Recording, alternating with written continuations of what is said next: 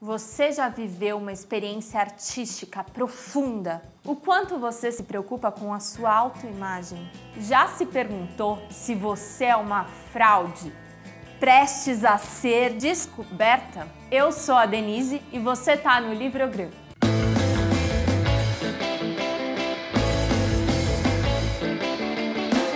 E aí, quem já está lendo Estação Atocha? Primeiro romance do poeta americano Ben Lerner, que foi publicado agora pela Rádio Londres. O livro, super esperado, recebeu críticas excelentes de autores como Jonathan Franzen, Paul Auster e James Wood. Quando eu vi esses três nomes, eu fiquei louca para ler. O livro conta a história de Adam, um jovem americano que está em Madrid fazendo uma residência artística oferecida por uma fundação importante. A verdade é que o projeto com o qual o Adam foi selecionado parece não despertar nenhum interesse nele. O que acontece é que ele acaba passando os dias sozinho, fumando rachixe, tomando um monte de calmante, procurando nos museus uma experiência artística profunda, lendo poesia e tentando escrever alguma coisa. Mas um dia, Adam começa a sentir a necessidade de encontrar pessoas.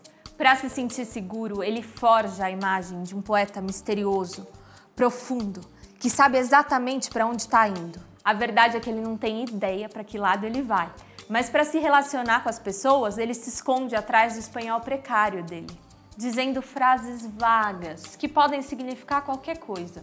É na incompreensão, no mal entendido, na tradução e no vazio da linguagem que as relações de Adam se desenvolvem assim como se desenvolve sua poesia. Mas ao longo do tempo, as suas frases em espanhol começam a fazer mais sentido e o medo de ser descoberto começa a se apoderar dele. O livro é uma verdadeira experiência de linguagem. De repente, eu me dei conta de que não era atraente o bastante para aquele tipo de ambiente. Felizmente, tinha uma estratégia para situações semelhantes, desenvolvida durante várias visitas a Nova York com os obscuros filhos das estrelas. Abria meus olhos mais do que o normal, como se estivesse olhando para um ponto específico arqueava as sobrancelhas e deixava que minha boca se enroscasse num esboço de sorriso. Uma vez conseguida essa expressão, eu a mantinha. Ela comunicava um ceticismo permeado de certa familiaridade, um senso de tédio que seria completo se não fosse por um vago interesse antropológico por aquilo que estava ao meu redor.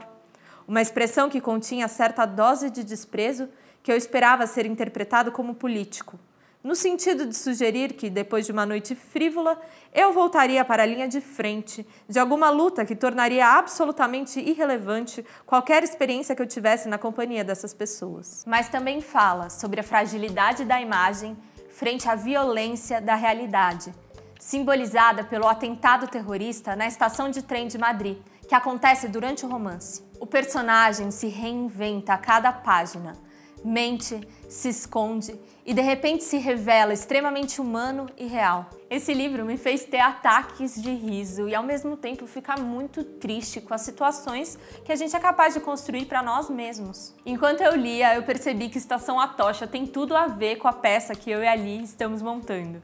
A peça chama Why Control e fala sobre a geração nascida nos anos 80, geração da qual o personagem do livro faz parte. A peça está sendo financiada lá no Catarse. Então, quem quiser conhecer o projeto, colaborar e garantir o seu ingresso, corre lá. O link está aqui embaixo. E aí, você já leu Estação Atocha? Se identifica com alguma situação desse livro? Deixa seu comentário e não esqueça de se inscrever no canal. A gente também tá no Instagram, no Snapchat e no Facebook. A gente se vê por lá.